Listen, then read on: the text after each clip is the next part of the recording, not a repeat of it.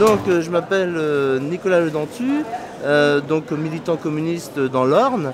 moi je voulais parler d'une question qui est essentielle, c'est le sport. Parce que là, les loisirs c'est important et des loisirs qui doivent rester populaires.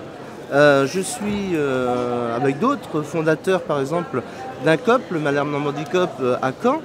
Et aujourd'hui c'est un réel problème que tous les supporters puissent non seulement qu'il reste un sport populaire, euh, quand je vois pour suivre son équipe par exemple, euh, les supporters se ne déplacent plus par exemple au PSG parce que les places sont à 30 euros. Euh, voilà, c'est vraiment lamentable. Et puis la répression policière, elle a été vécue bien sûr dans les manifs, mais dans les stades, c'est depuis longtemps. Un jeune qui a l'humain fumigène, il se retrouve en garde à vue pendant 24 heures.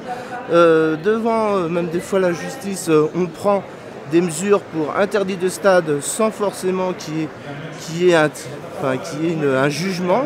Enfin voilà, la, répression policière, on l'a vu depuis longtemps. Donc voilà, moi je me bats pour que tout le monde puisse euh, suivre, bien sûr, euh, aussi que bah, son équipe et puis que ça reste un, loisir populaire.